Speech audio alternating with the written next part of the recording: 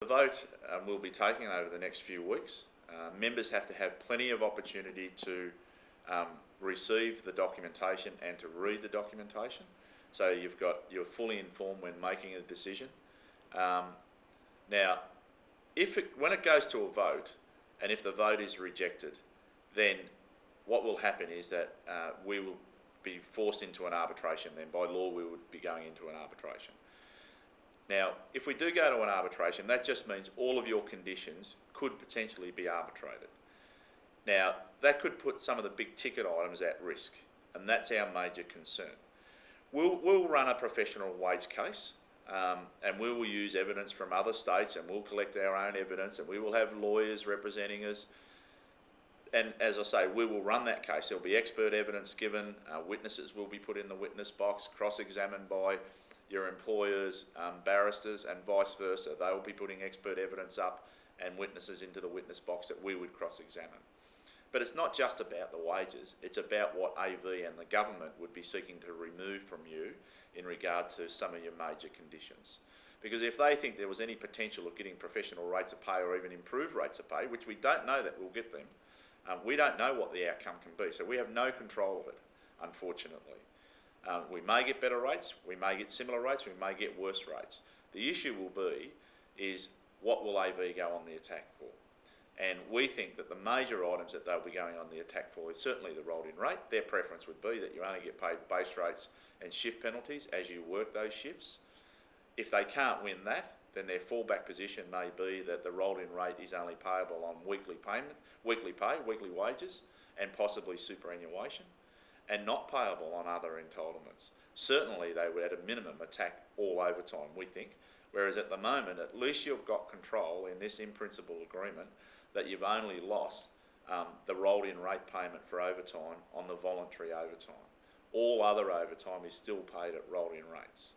So our concern is that it's not a matter of not wanting to go into an arbitration, uh, it's a matter of it's the fear of the unknown, what we may lose. Uh, and we don't know whether we're going to get any big gains. So we just don't know. Um, you're leaving it to the umpire. And whereas at the moment, the in principle agreement um, allows you to decide to retain all of your other conditions except for that overtime at double the base rates.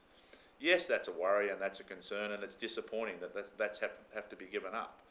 But at the end of the day, at least you've got control of that. Uh, and when you go into the unknown, such as an arbitration, um, you know, people would be far more disappointed if we lost the rolled in rate across the board or if we lost it on more items than just this particular overtime.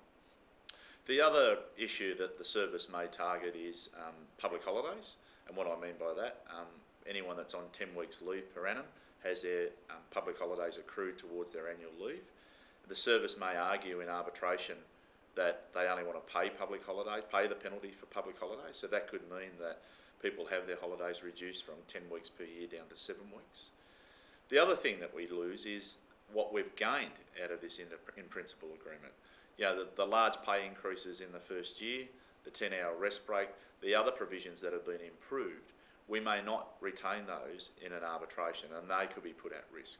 And the one, one thing that would be guaranteed that we wouldn't keep is the salary sacrifice into defined benefits because it's, it's a condition by government that that has to be part of an enterprise agreement, not as an outcome of a workplace determination or an arbitration. So they're things that we know of that would be put at, you know, put at risk, uh, whereas at the moment we have control of those. And yes, from our point of view, the union would recommend to its members to accept the agreement. Um, people will say why. Uh, well, as I've said before, trying to explain it previously, is at least we have control of what's in the agreement. Um, what's going to happen in regard to professional rates of pay if you do accept the agreement? Well, it just means we have to prepare ourselves for the next round of bargaining, uh, and we may be in a better position next time because of what's happened in South Australia and what may happen in other states. There may be further evidence that may assist us there could be some, there, there will be some arbitrated decisions that may assist us moving forward. And yes, we come back in two and a half years and start renegotiating. Um, that's just one of the unfortunate things. We're disappointed that we couldn't get you professional rates. It wasn't through lack of trying, um, but it doesn't mean to say it is off the agenda. Uh, and we will continue to try and improve your wages and conditions moving forward as best we possibly can. if arbitration does occur, um, it is possible it could it will take probably six to nine months before it's completed. So that means you wouldn't have a wage increase until that's finalised, and it would be payable from that date. Um, pay rises are not generally not backdated in arbitrations. Uh, the last time round for people that were in the industry uh, through the MX, as you'd be aware, there was a higher increase in the first year to make up for some of the, the loss of back pay. Um, but again, those rates of pay didn't apply until the actual date of the uh, original decision for the MX. So it would mean a further delay on wage increases for you. Uh, and look, if we do go to an arbitration, as I say, we'll give it our best shot, but I can't guarantee an outcome for you. Yeah, pay rises have already kicked in as of the 11th of August, or the first full pay period from the 11th of August, because the government's committed to pay the wages back to that date. I know it's not a long time, but at least you, know, you have a wage increase already in your grasp if you vote in favour of this agreement. Um, so you have that increase in, in your, your monetary value, your weekly wages. Uh, if we go to arbitration, then obviously you'll just have to wait a bit longer for any increases.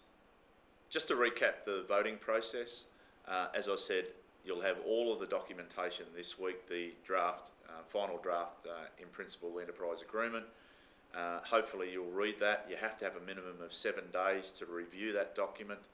Um, postal ballot papers probably will be posted out to your home address. That'll be done by AV and it goes to all employees that are eligible to be covered by this enterprise agreement, not just union members. Uh, so you'll get a ballot paper within the next couple of weeks. There'll be a closing date probably in about three weeks' time, uh, which will make it probably early, uh, early October. And it'll be a simple yes-no vote to the enterprise agreement. You'll either vote yes or no depending on what you believe uh, is your position on it. Uh, you post that back. Um, the union will be involved in the scrutineering of those votes to see whether it either gets over the line or it doesn't. And you'll be informed as soon as possible once that vote is taken of whether it's been accepted by, the, by uh, everyone that's voted or whether it's been rejected um, by the voters. And uh, as I've said before, if it's rejected, then we'll be preparing for an arbitrated case. In summary, um, as I've previously stated, um, we know that some members are not happy with this agreement and totally accept that. But we believe from the union this is the best possible negotiated outcome that we could achieve, in particular against that backdrop of the uh, midnight time frame on the 11th of August. You know, again, by law, um, we were bound to reach agreement by that time. If we couldn't reach an agreement, then we would have been into arbitration. And I would think many of the membership uh, would have been concerned that the union just took it straight to arbitration by not reaching an agreement without giving them an opportunity to consider an in-principle agreement, in particular if the outcome of an arbitration was that you did lose some major conditions. Um, we can't, if you do knock back this agreement, we can't just go back and renegotiate. There's no room for that anymore because by law we're bound just to go into an arbitration.